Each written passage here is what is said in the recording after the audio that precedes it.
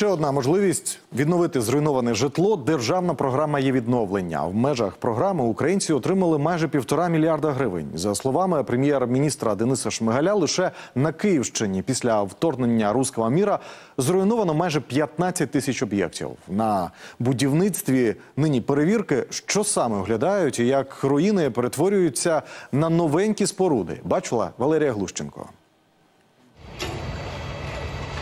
Кадри 18 січня цього року у Броварах гелікоптер із керівництвом МВС на борту впав на дитячий садочок Джерельце. 18 загиблих, 25 постраждалих. У садочку виникла пожежа, будівля зазнала суттєвих пошкоджень.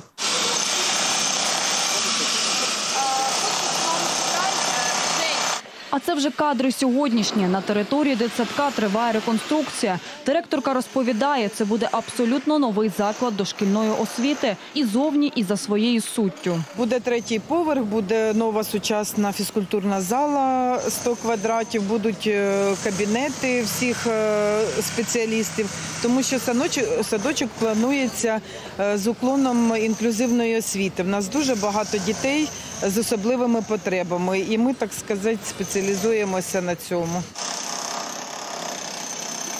От У мене через два роки випускна група, кажуть, діти, ми обов'язково будемо танцювати вальс випускний на території нашого джерельця.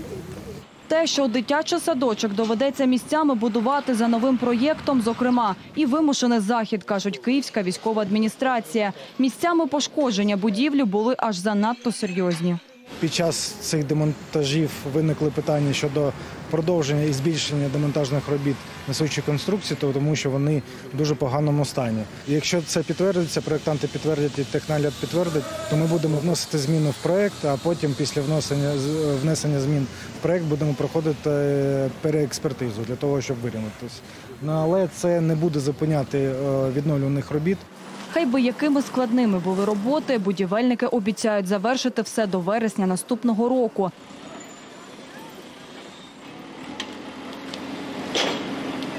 Так само, за планом підрядників, на початку наступного навчального року знов прийматиме школярів і ліцей у селі Плоске. Директорка згадує, навчальний заклад рашисти понівечили у перші ж дні повномасштабного вторгнення. Здетонували два танки, які стояли за школою прямо біля фундамента от, під час обстрілу. І е, частина школи, е, 35% було е, геть згоріла. Ну і далі е, пошкоджений дах був скрізь пошкоджений. Тобто е, заклад зазнав таких значних пошкоджень. Відновлювати будівлі майстри почали півтора місяці тому. Почали свої роботи з демонтажу.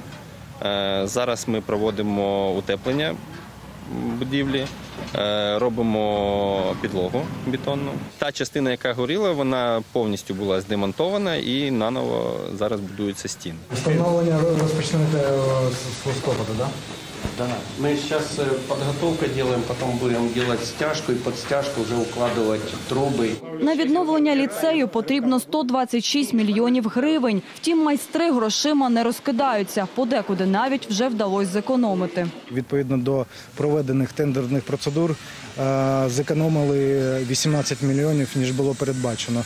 І тому, зважаючи зараз, ми обстежили укриття, яке передбачали в школі. Воно розраховано максимум на 80-100 людей 100 учнів. А у нас школа буде після відбудови розрахована на 350-450 учнів. Тому е, є доцільність е, зробити перепроєктування і включити повноцінне укриття. Загалом на Київщині за кошти фонду ліквідації наслідків збройної агресії нині відновлюють близько сотні об'єктів, заклади освіти, лікарні, житлові будинки. Аби кожну копійку було витрачено за призначенням, ще наприкінці літа посадовці створили спеціальну комісію з правоохоронців, рятувальників.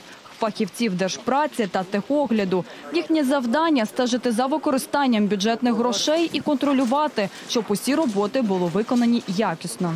Станом на сьогодні міст повністю відновлений, влаштовані нові прогоньові балки, залита плита монолітна, влаштоване водовідведення.